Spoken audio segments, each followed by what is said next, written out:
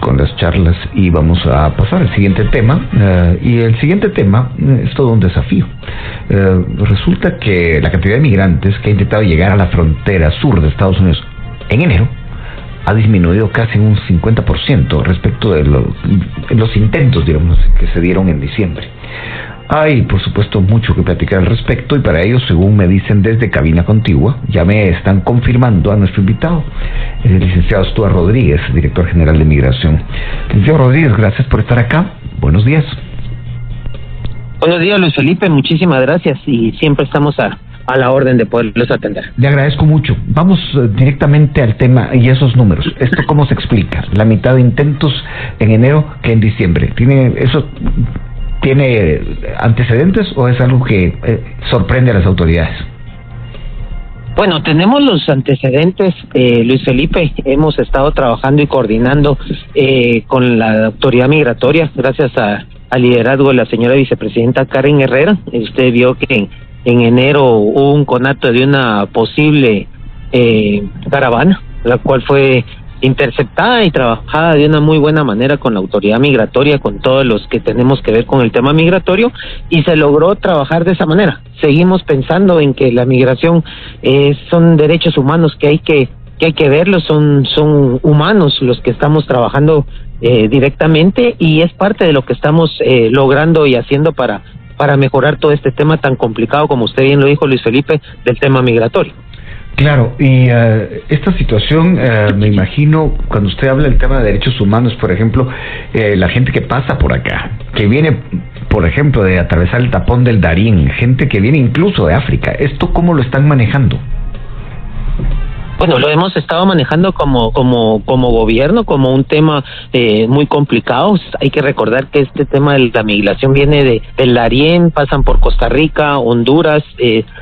tenemos que ver todos los que estamos involucrados en el tema, que es Centroamérica, eh, Guatemala, México y por supuesto los Estados Unidos, y entre todos estamos tomando decisiones juntas, entre todos eh, vemos realmente cómo podemos aportar, apoyar y ver y velar. Hay que recordar, Luis Felipe, que antes la migración era de un individuo de 30, 35 años, un hombre ya adulto, donde, donde se atrevía a, ir a, una migración. Hoy por hoy son unas migraciones de flujos migratorios donde va eh, mamá, papá, eh, menores de edad, inclusive hasta las mascotas hemos visto. Así que ha cambiado muchísimo ese flujo migratorio y es lo que nosotros estamos tratando de ir eh, comprendiendo para ir apoyando y poder eh, aportando entre todos nosotros, los que estamos involucrados como países, en ir deteniendo estos flujos masivos. Este detalle de las mascotas me llama la atención. Gente que viene, digamos, con sus perros, por decir una cosa, con su... Con,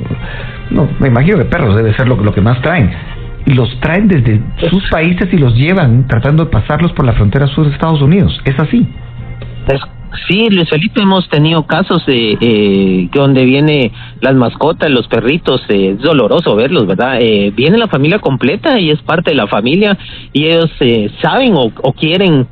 ser eh, pues también te engañados porque lo quiero lo quiero decir así y reafirmar que las fronteras están cerradas las fronteras a la migración irregular están cerradas eh, y los coyotes y las personas que trafican con con estas migraciones les dicen que pueden llegar y que pueden llegar a la frontera sur de los Estados Unidos y que pueden entrar. Inclusive ahora se habla eh, que guatemaltecos solo con un DPI pueden ingresar a, territorio de los Estados Unidos y es totalmente falso. Eso es eh, no es así como funciona. Eh, y es por eso es que vemos esas migraciones donde dicen, bueno, nos vamos todos porque si llevamos niños, si llevamos mascotas, vamos a tener una entrada más fácil. Es totalmente falso. Eh, las fronteras siguen cerradas a la migración irregular buscamos y seguimos apoyando como migración, una migración ordenada, segura y eficaz, y si llegan a los Estados Unidos eh, tienen flujos migratorios que observarse para ver si eh, van a ser tomados en cuenta en el tema de un proceso migratorio al pedir un asilo o inmediatamente una deportación, Luis Felipe. ¿Cómo va la situación de los menores no acompañados que tratan de llegar hasta Estados Unidos?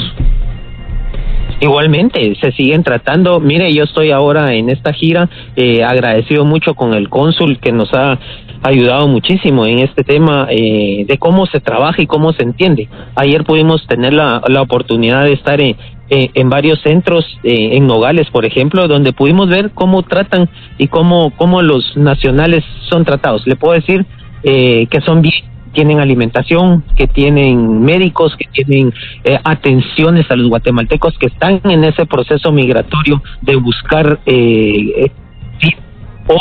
esperando si un juez decide en retorno pero en lo que están en esos procesos son lugares eh, limpios, son lugares seguros, son lugares donde son bien atendidos y e insisto a, agradecerle a, a, los cónsules, a, a, los que trabajan, como el cónsul que anda con, con nosotros hoy en esta visita, Carlos Enrique de León, que hacen un gran trabajo humanitario por atender a los guatemaltecos, Luis Felipe. ¿Han tenido contacto también con algunas autoridades de la patrulla fronteriza? Correcto, eh, hemos tenido contacto el día de ayer, estuvimos con con Robert Bartlett, por ejemplo, que es el director de la estación de Nogales, donde en ese procesamiento de, datos que vemos, eh, vemos a guatemaltecos, por ejemplo, o hoy, hoy vamos a otro centro, eh, hay centros diferentes en todo el tema de Arizona, eh, en Florence, por ejemplo, hay 208 guatemaltecos, hoy vamos a Eloy, que es otro centro de detención de, de, de ciudadanos de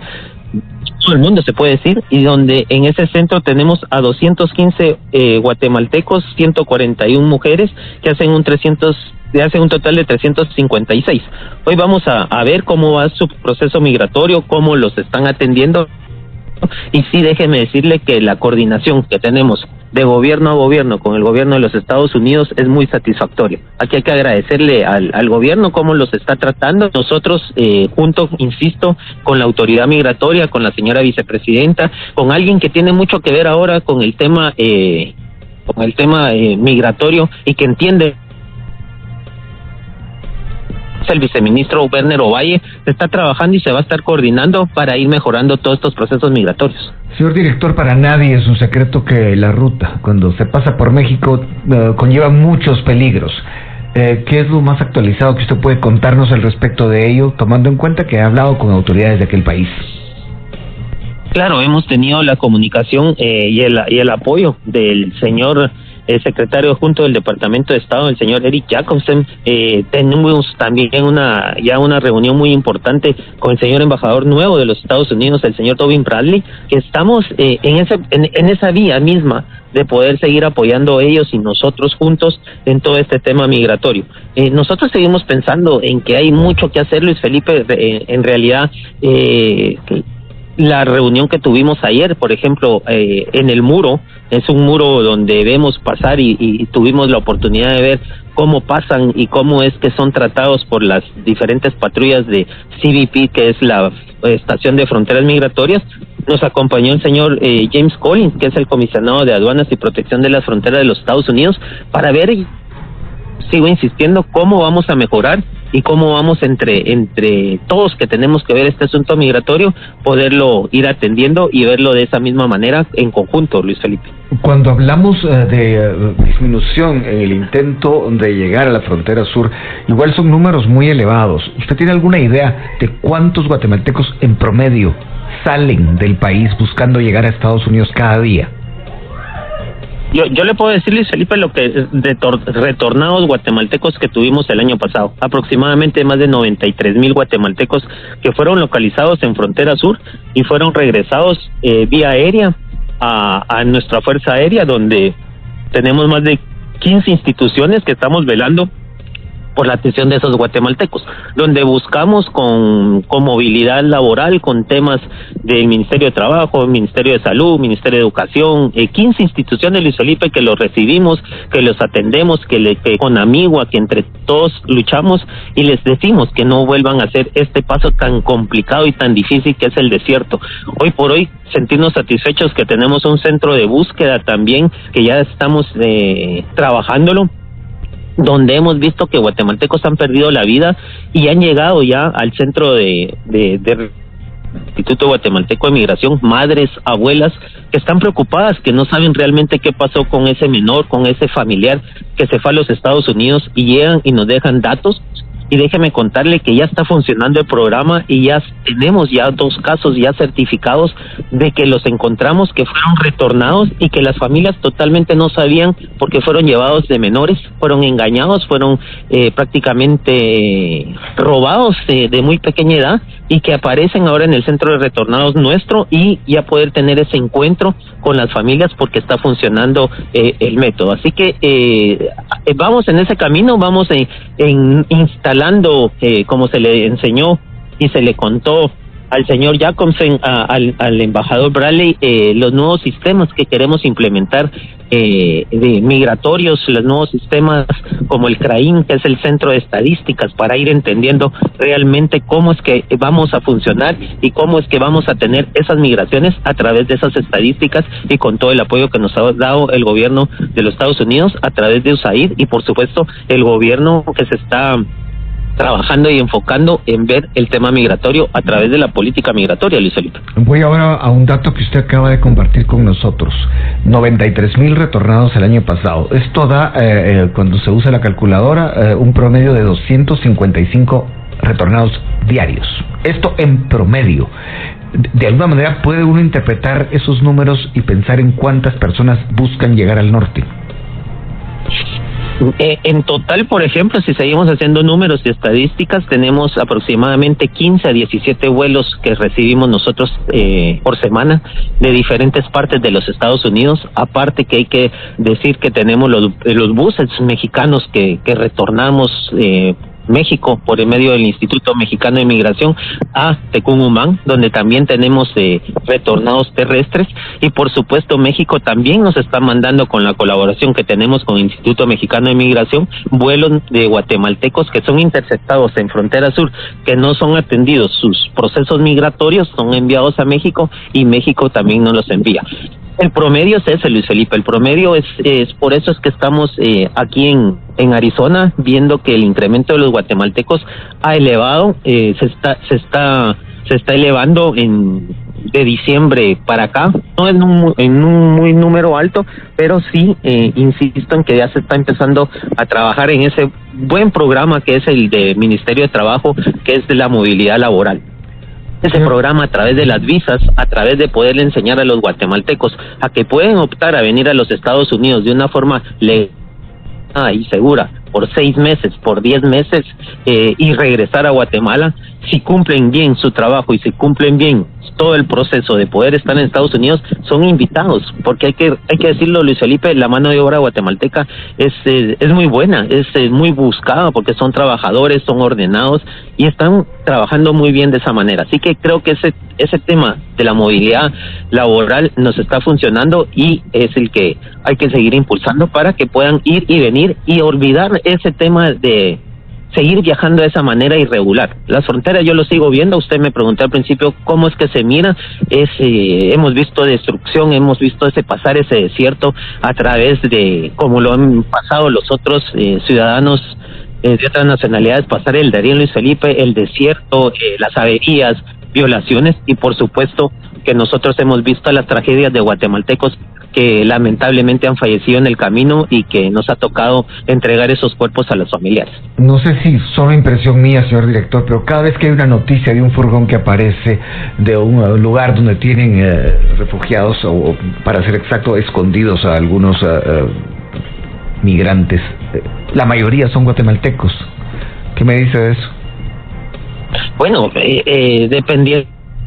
la frontera, por eso es que estamos aquí en esta gira, eh, estamos analizando los diferentes flujos, eh, hay que ver que la frontera de los Estados Unidos es muy grande, eh, tienen nogales, tienen tantos pasos y ahora con la, esta ley de Texas, por eso es que se está entendiendo y se está buscando a través de estas estadísticas, a través de la buena comunicación que tenemos, repito, con el gobierno de los Estados Unidos, tener entender realmente por dónde van a ser esos pasos y cómo es que los vamos a seguir identificando. Vamos a, seguir trabajando en conjunto porque creo que esa es la manera de poderlo trabajar y eso es la, lo que la señora vicepresidenta nos ha dado las instrucciones muy claras de poder abordar este tema porque es un tema tan prioritario para poder ver realmente cómo podemos irlo combatiendo eh, unidos y de una buena manera porque repito son seres humanos que están buscando pero un, un, lugar donde trabajar. Pero también hemos visto que a través de esas estructuras criminales, de esas mafias organizadas, se están aprovechando en muchos guatemaltecos. Una última pregunta mm, y apelando a su experiencia, licenciado Rodríguez. Es año electoral en Estados Unidos el tema de la migración irregular siempre se vuelve un tema político y de campaña. Eh, ¿Cómo cree usted que esto nos va a afectar en Guatemala? Eh, es una de las partes este, Luis Felipe, y repito, como autoridad migratoria se tomó unas muy buenas decisiones en enero cuando pudimos tener esa opción de poder, eh, el, comando que se inmediatamente se organizó, eh, repito, por medio de la señora vicepresidenta Karin Herrera, inmediatamente convocó para evitar esos eh, flujos masivos grandes de caravanas que son organizadas eh, muy posiblemente por temas políticos y con ese mensaje, cómo se trabajó y cómo se va a seguir trabajando y cómo nos estamos organizando, les repito ahora a través del viceministerio de fronteras, a través de cómo se está organizando todo, creo que vamos por un buen camino y claro, sabemos y entendemos que va a ser un año muy complicado en el tema electoral en Estados Unidos y el tema migratorio va a ser esencial. Por eso es que estamos eh, poniendo como, como prioridad, como eh, una materia muy importante que vamos a seguir combatiendo estos crímenes, estas situaciones y vamos a seguir apoyando una migración ordenada, segura y eficaz, pero sobre todo sobre todo pues, con los derechos humanos, Luis Felipe, que es tan importante ver eh, cómo apoyar a esos menores, cómo poder apoyar a toda esa gente que eh, realmente a veces necesita que como gobierno las vamos y las tenemos que seguir apoyando. Licenciado Rodríguez, gracias por habernos atendido. Hablaba con el director general de Migración, Stuart Rodríguez, se encuentra en Tucson, Arizona, hasta donde entendí, y ha estado haciendo una eh, vuelta por esta frontera para determinar cómo está la situación de los migrantes que llegan hasta ahí. Así que bueno, vamos a la pausa, volvemos pronto.